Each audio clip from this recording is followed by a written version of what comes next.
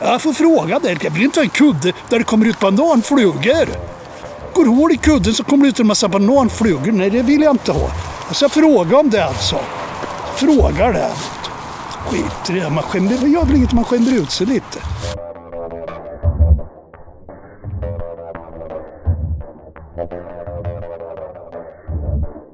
Se om det är något bra på TV. Jag vad det är på ettan. Jag får ingen bild, jag får ju ingen bild. Jag får ingen bild. Jag får ingen bild. Nu börjar det. Vad är det som börjar? Det hela börjar. Jag tänkte jag ville bli lite hårdare och saltare kille. Så jag åkte till Dollarstore och gick in och frågade. Jag vill ha sådana kepsar som hårdrockarna har. Och det blev de här två kepsarna, 50 kronor styck. När jag kom hem då blev jag jättebesviken. Då fick jag se att det var fuskpäls. Jag trodde det var minkpäls. Var det fuskpäls? Dollarstore. Kepsen heter Silverräven. Dollarstore. Kepsen heter Svarte Petter. Men jag var rätt så nöjd ändå. Om man köpte två kepsar fick man ett piano på köpet på Dollarstore. Det var inte så illa. Så nu ska vi kolla lite på det pianot jag fick på köpet. Dollarstore. Man vill ju ha det rätta Dollarstore-soundet alltså om man ska vara med. Ni som håller på och skapar musiken är lite nyfikna nu på det här nya Dollarstore-soundet. Vi går och lyssnar på mitt Dollarstore-piano. Nu sitter jag vid mitt Dollarstore-piano. Jag spelar ju egentligen inte piano. Men jag kan ju trycka ner en tangent i alla fall. Det klarar jag av. Så det gör vi nu.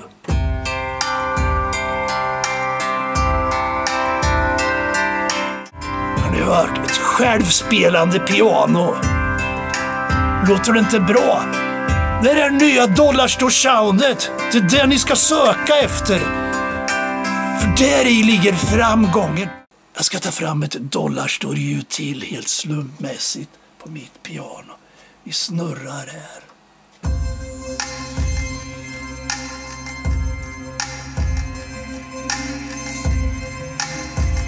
Atmosfäriskt härligt.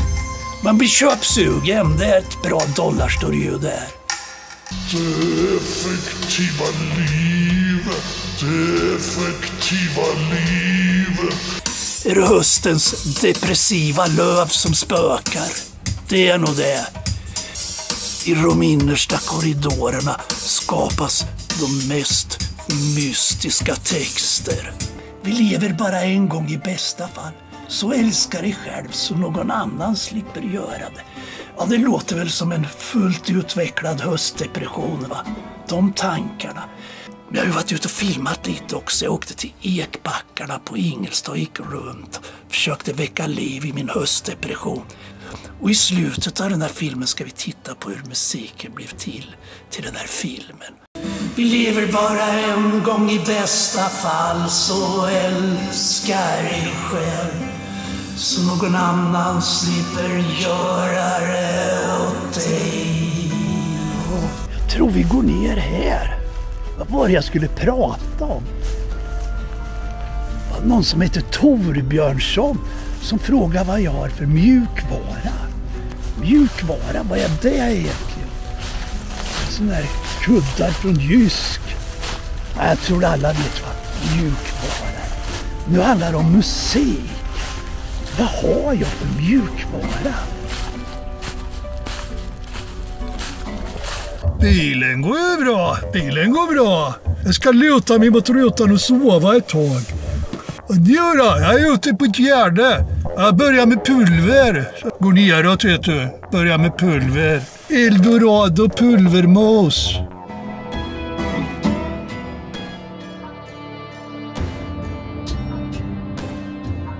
Ingelsta ekbackar står det. Det finns flera ekbackar men det är Ingelsta ekbackar.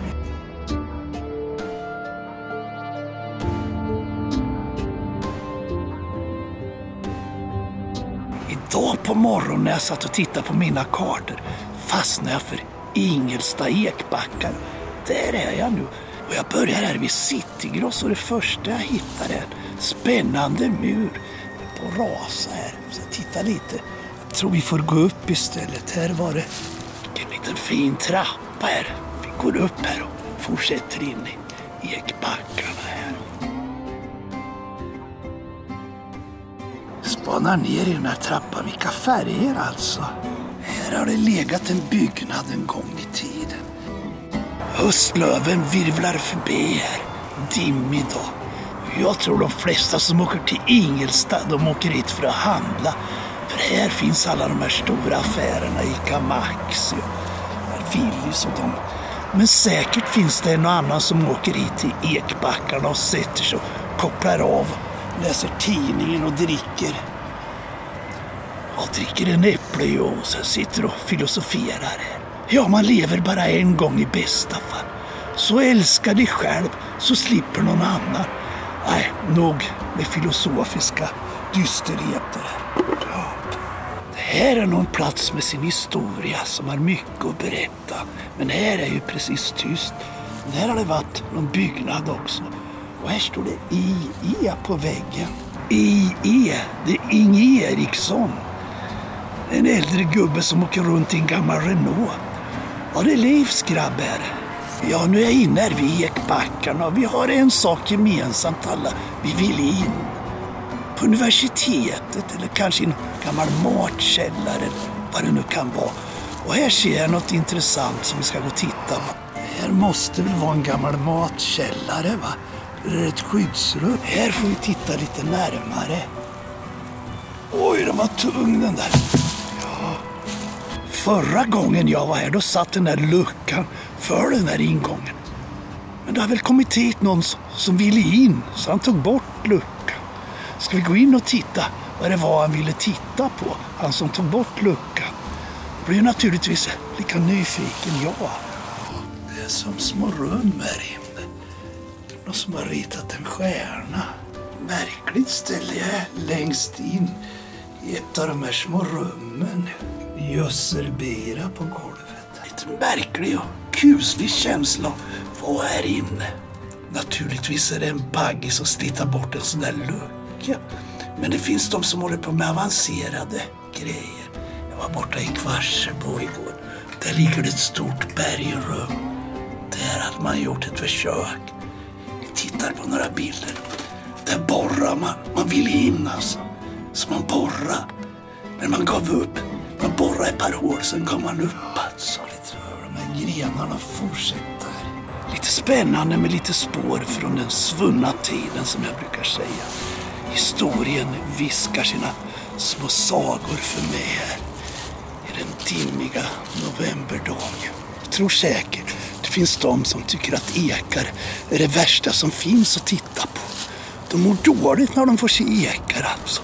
Så jag får tänka på dem också som har svårt för ekar, som har ekallergi alltså. Kan sitta ner en stund? Bara ett litet problem. Bänkskivan är borta. Bänkskivan är borta. Ja, det är ju inte lätt att balansera ett kvarter Explorer här. Men det är i alla fall bättre än ingenting med en gren. Bättre att ställa Explorern på grenen än att ha den på backen. Då får man ju böja sig varje gång. En halv böj. En halv böj. Vet ni vem som myntade uttrycket en halv böj? En känd poet. Han gick rätt ofta till Systembolaget. Då sa han, jag ska ha en halv böj. Det hade de under disken. Var väl Explorer. Han ska ha en halv böj, så han böjde sig expediten ner och tog upp en Explorer till Cornelis Vreeswijk då förstås. Jag undrar vem som har bänkskivan hemma nu. Säkert en marmorskiva från Kolmården. Ja, så kan det gå för en bänkskiva som har ett stort värde. Den hamnar någon annanstans. Det skulle nog inte vara så roligt att vara superkändis. Gå på systemet. Titta, där kommer han igen. Titta. Kommer han, vad ska han ha här? Jag tycker inte man ska bekymra sig i onödan. Det är så många andra som gör det. Jag vet inte vad jag ska bekymra mig över. Det är väl mitt stora bekymmer egentligen. Ja, så är det för en del. Nytankad bil har jag också. Tankar borta vid Citygross. 2063, är inte det jäkligt billigt? Jag tycker det. Den nya regeringen ska ju sänka priset ytterligare. Bensinen ska visst bara kosta 40 öre liter. Det är ju inte bra. Den är så billig. Jag tycker den kostar precis vad den är värd. Det är klart en liter bensin är värd 20,63. Jag kommer inte att säga något annat. Det är inte lätt att bli gammal. Känner mig som en gammal gubbe i en Renault som åker runt och gör burnout om nätterna. Vet du. Leker 16-åring. Jag tänker om man vore 16 år igen. Skulle jag köpt en A-traktor så skulle jag haft en knapp. Så den gick ju 210. Stackars de som åker A-traktor. Nu ska det bli nya regler alltså. Nu ska de sitta med säkerhetsbälte. Nu får de inte sitta eller ligga uppe på varandra i stora högar i bilarna längre. De ska sitta som vanligt folk med säkerhetsbälte. Det är ju inte klokt alltså. Sen måste de ha dubbdäck också. Det går ju inget bra att göra burnout när man har dubbdäck. Och så får de inte ha överväxel längre. Överväxel. Det är den där hemliga knappen som gör att A-traktorn går i 210. Det här måste ju vara en av de största skandalerna i Sverige genom tiderna alltså. Förfölja de här stackars ungdomarna. De måste ju få lite kul också. Det är klart de ska ha överväxel. Så tycker jag de ska få sitta precis som de vill i A-traktorerna. Vill de sitta uppe på varandra ska de få göra det. Vill de ligga uppe på varandra ska de också få göra det. Vi lever i ett fritt land. Dubbar, dubbar. Nej, nej, nej. Men vad tycker då Märta Stenevi om A-traktorerna? Jo, hon har en nollvision. Vad innebär den då? Ja, då får max gå 0 kilometer i timmen. Högsta tillåtna hastighet för A-traktorer ska vara 0 kilometer i timmen. Tycker ni att det låter bra? Det är väl bättre än att de inte får finnas alls? Då kan de sitta hur många de vill uppe på varandra i garaget med A-traktorerna. Grenarna som ligger, de är nästan mer spännande att filma än själva ekarna faktiskt. Här var en magnifik ek. Jag undrar vilken ek som är fetast i hela Norrköping. Kanske är den här rent utav. Här tror jag vi sätter oss ett tag. Jag satt mig ner här för att gräma mig. Är ni också sådana som går runt och grämer er hela tiden? Över allt ni gjort, alla misstag ni gjort. Och ju äldre man blir, ju mer har man att grämas över. Men jag har en sak som jag grämer mig över mer än alla andra saker. I övre tonåren råkade jag av misstag svälja ett nickel-kadmiumbatteri. Hur det gick till? Jo, det var mörkt. Jag såg inte att det var ett nickel-kadmiumbatteri. Det är därför jag är som jag är. Då är det säkert någon som frågar, är du missnöjd på något sätt med dig själv? Nej, inte jag, men alla andra är missnöjda med mig. Jag tappade ett kvarter på golvet i spårvagnen en gång. Ja, här borta, på andra sidan höjden, ligger ju Systembolaget här. Om man skulle gå bort och ta och köpa sig en halv bö och ta och sätta sig och fördjupa sig i sina funderingar. Sjunka in i sig själv. Gräma sig. Grämaren. Jag fick en sån där broschyr hem i händelse av, eller vad den hette, om det blir krig eller jordbävning eller... Jag läste i den där och om det skulle dra ihop sig riktigt ordentligt och bli kyligt, då skulle man ta sitt bord, lägga en filt över och bygga ett tält och vara där under. Men jag har ett sånt bord där det går en bräda under bordet. Så det går inte att bygga ett tält av mitt bord. Så jag ringde och frågade vad jag skulle göra. Då sa de att jag skulle såga bort brädan och ha den att slåss med. Ja, det var ju bra. Äh, det var elände med det mesta. Så igår gick jag på stan kom fram tre stycken och sa om vi inte får din mobiltelefon. Ja, vi hundmatar. De ska göra hundmat av mig, ska de göra. Vet du. Så jag fick ju lämna ifrån mig min nya iPhone. Tog de den och stack. Det är bara att köpa en ny iPhone. Så gå ut så blir man av med den första dagen. Alltså. Så då hämtade jag Ja, det var en mystisk betongplatta mitt inne i eklandskapet. Här. Gammal grav från förr. Det är den, jag tycker det står något där. Alltså. Står det där någon jävla katt som har dött förstås. Kunglig, kunglig katt, kungens, kungens katt. Är det den som har dött. Och helt plötsligt när jag gick här då började jag tycka synd om Ulf Kristersson också dyrtider på gång det är. Ja, inte lätt att bli statsminister nu och få ta hand om det här när det blir dyrtider. Jag kände jag vart riktigt ledsen vart jag. Så jag var tvungen att gå bort och köpa en Sofiero på bolaget gjorde jag. Och den har jag klämt nu. Nu tycker jag inte alls så synd om Ulf Kristersson längre. Det är hans problem. Kom en tant där nere med en hund när jag stod och drack som bäst. Jag frågade, är han snäll?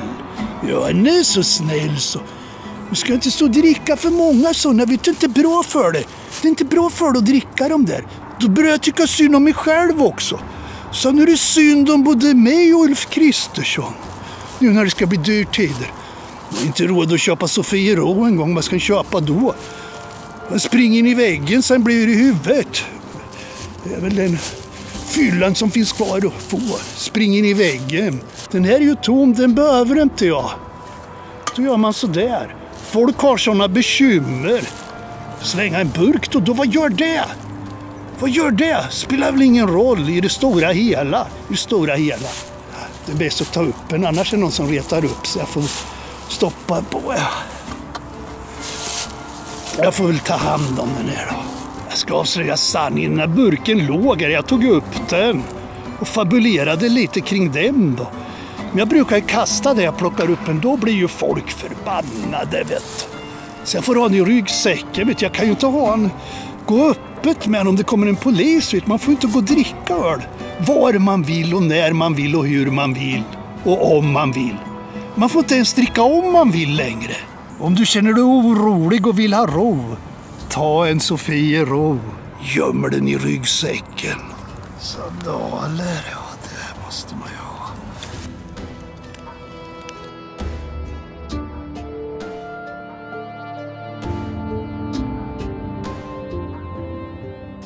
avslutar min vandring här på Ingelsta vid den här graffitiladan. Vad döljer sig bakom hörnet? Det här är bara ett litet smakprov. Vänta ska ni få se. Jag tycker det är rätt så fint även om jag inte riktigt förstår vad det betyder och vad innebörden är. Men det jämnar väl ut sig för jag förstår ju ingenting just i det stora hela. Så att det är likadant med det här. Och min lärare som jag hade i sjätte klass, han tittade strängt på mig och sa Karlsson, vet du vad pluskvamperfekt är? Nej, det vet jag inte, sa jag. Det var illa, Karlsson. Det kommer att gå illa för Karlsson, sa han. Ja, så är det. Jag vet inte vad pluskvamperfekt är. Jag vet inte det än. Kommer aldrig att veta det, för jag skulle ändå inte fatta vad det är. Jag skiter i pluskvamperfekt. Jag klarar mig bra utan pluskvamperfekt. För fan. Är det hundra meter med graffiti här?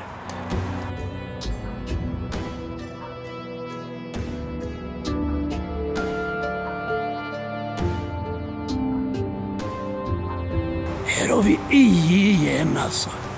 Inge Eriksson, ja, som jag sa, Livs grabb alltså. Han har en Renault alltså. Jag tror den bara går på tre cylindrar. Inge Erikssons Renault, men hans farsa Leif, han skit i att hjälpa Inge, vet du. Inge skulle ju behöva ha pengar till en ny Renault, men Leif han bara skiter i det. Han har pengar. Han har pengar, Leif. Men han bryr sig inte om Inge så mycket.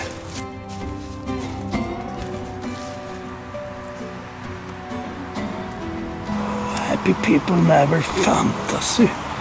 Lyckliga människor fantiserar aldrig. Är Var har de fått det ifrån? Det är säkert något, ja vem kan ha hittat på det? Det är nog något som Ebba Busch har hittat på tror jag. Vet. Hon fantiserar väl inte så mycket. Hon är så saklig vet.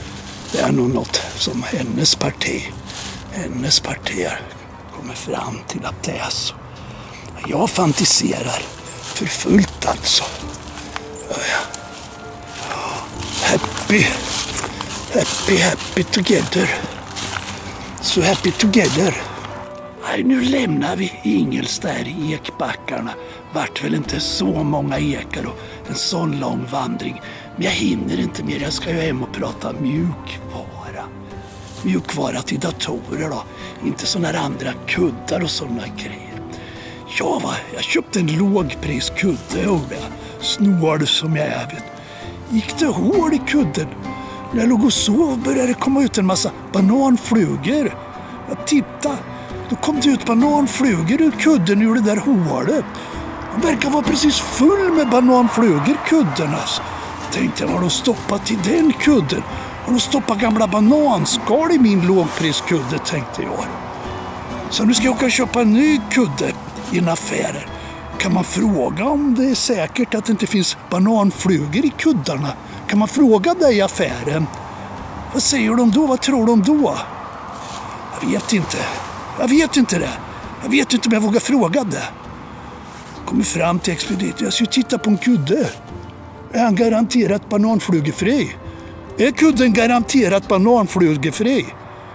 Jag får fråga det. Jag vill inte ha en kudde där det kommer ut bananflugor. Går hål i kudden så kommer det ut en massa bananflugor. Nej, det vill jag inte ha. Jag ska fråga om det alltså. Frågar det. Skit i det. Man skämmer, det gör väl inget om man skämmer ut sig lite. Det är värre att fråga om det bor krokodiler i kudden. Det är ju lite mera, då kan det bli lite mer komplicerat.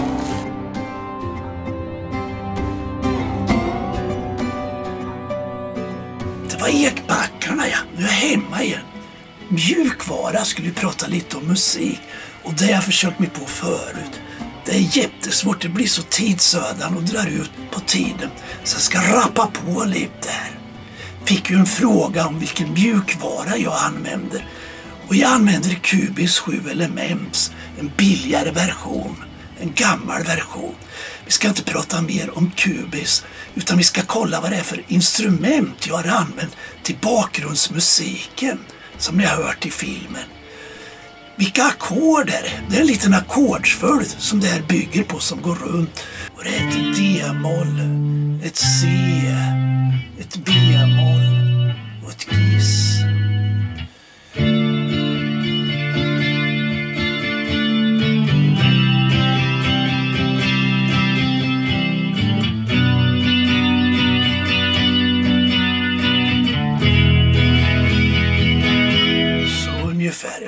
Knappt spela ackord längre.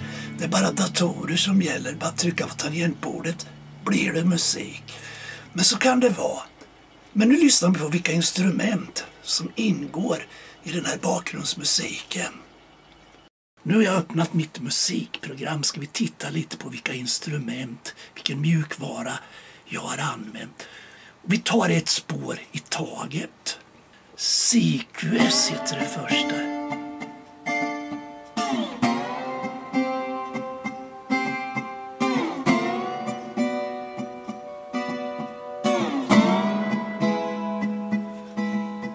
Kör igenom alla spåren lite snabbt bara.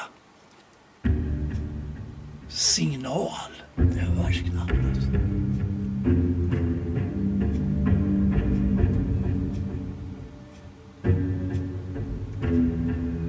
Ja. Fortsätter snabbt till nästa spår här. Sunburst, en elgitarr.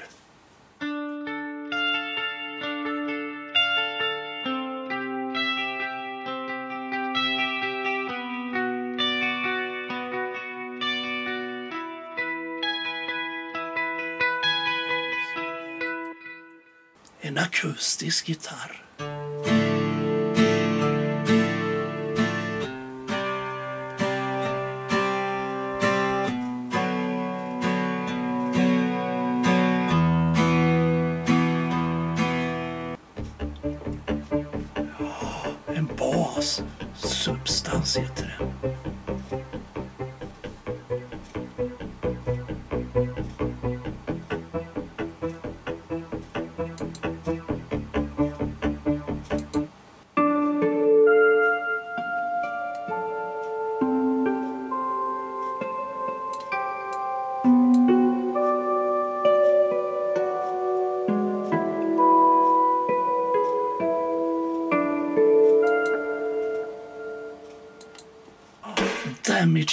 Blommorna. Ett spår från dem.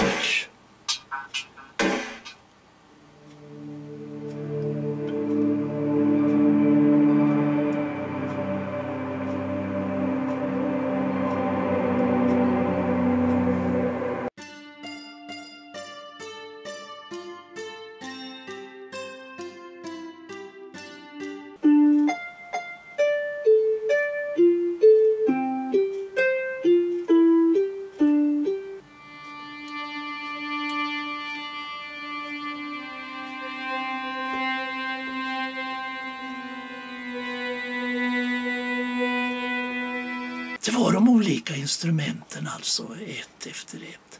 Ja, här ser ni, man behöver inte kunna spela något musikinstrument längre. Man kan lära sig lite musikteori, skaffa en dator, köpa mjukvara. Då kan man göra bra mycket alltså. Så att det är väl en liten genväg. Lite av känslan försvinner väl kanske som ett riktigt musikinstrument har. Och just det att det är datorn som bidrar med det mesta vad det gäller den här konstnärliga insatsen gillar väl kanske inte alla. När jag gick igenom de här instrumenten såg jag att det var ett instrument jag inte hade haft med. Och det är lite spännande. Det ska vi titta på lite närmare. Heter Riff Generator. Den gör musik åt dig. Eller det kan vara till en bra hjälp när man är ute och letar efter någon idé. Jag ska plocka fram den ska vi titta på den lite snabbt. Nu har jag laddat in riffgeneratorer från InSession Audio talat om för den att vi spelar i C-dur.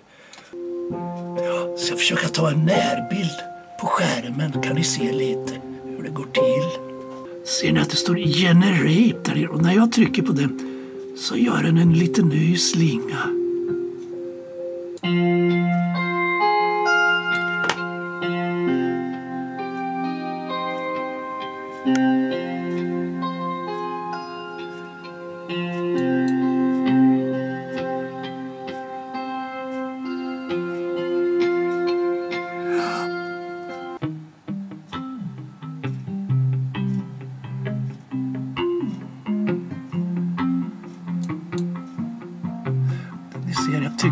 Med rape så får vi fram något annat.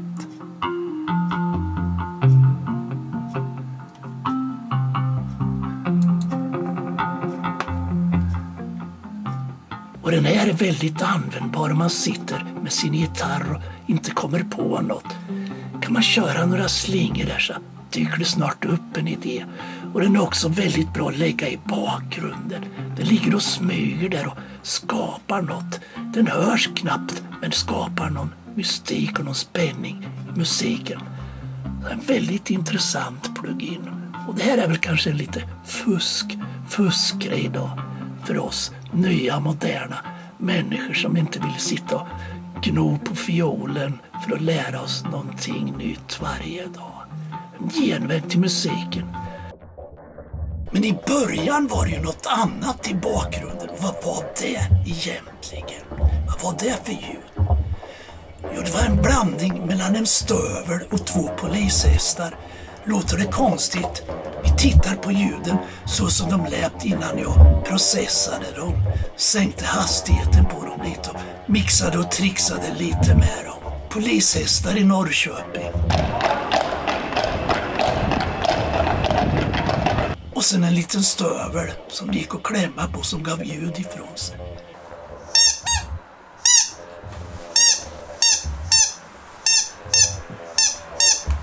Ja, så gjorde jag ljudet i början på den här filmen. Nu slutar det. Vad är det som slutar? Det hela slutar. Det bara